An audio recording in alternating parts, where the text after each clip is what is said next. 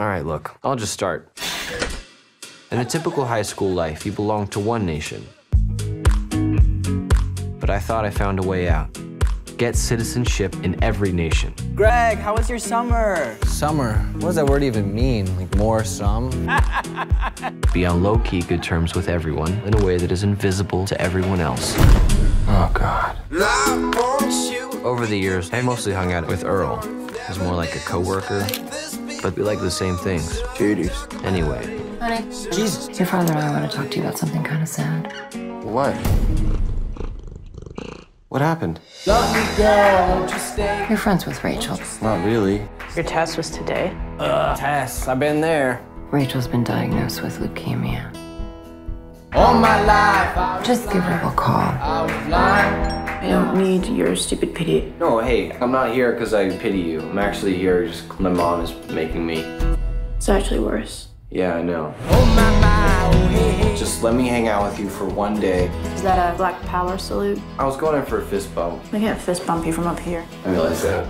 So you and Greg are coworkers? We make films. We've been making them since we were little.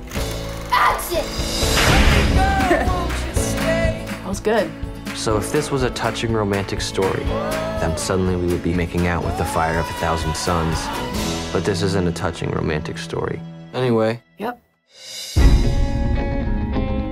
So how are you? For real?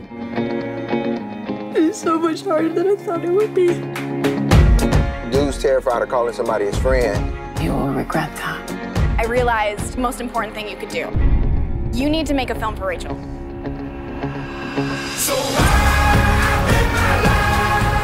Have to understand what it does when someone touches your life.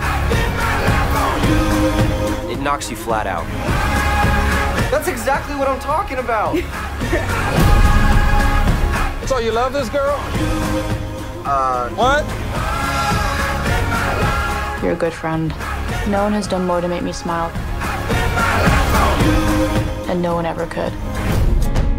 You guys gonna be getting busy on my new Tuscan leather, huh? No, I think. What's that? No, we're not. What?